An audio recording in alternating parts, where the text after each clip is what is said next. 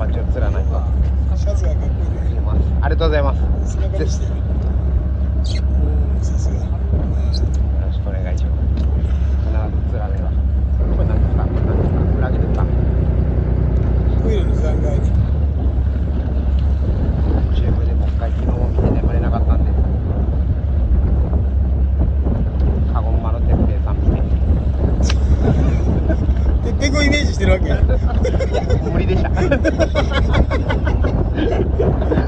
ぺんくん絶対無理でした。真似して。無理でした。カズさんおはようございますあ、おはようございます。よろしくお願いします。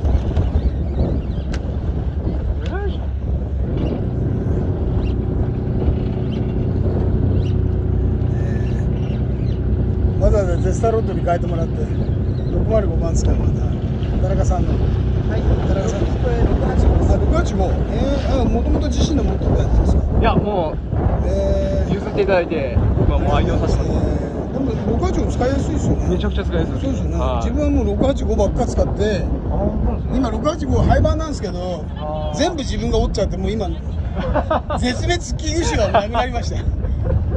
使いやすいんですけど自分にはちょっと物足んなくてあ折っちゃうんですよね350度があの振りまくるんでスローで川田さんの使い方が正解なんですよ。自分それを振り回すんで折れちゃった 折れちゃった。15本ぐらい折ったと思います。さあ田中さんが PPJ でも PPJ やっぱり話早いですよね。短波するには。すね。あとはだから体力の問題ですよね。ひたすら触れちゃうから。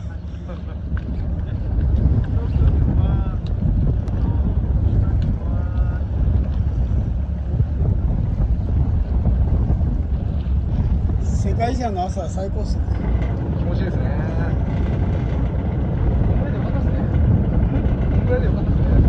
帰ってよかったんです昨日暑すぎてあ。ちょっともう途中で帰ろうかなって言いたくなるぐらい暑かったです。しかもちょっと自分舐めてて飲み物が途中で切れちゃったんあで溶けた氷の水飲むって思いましたもん。ー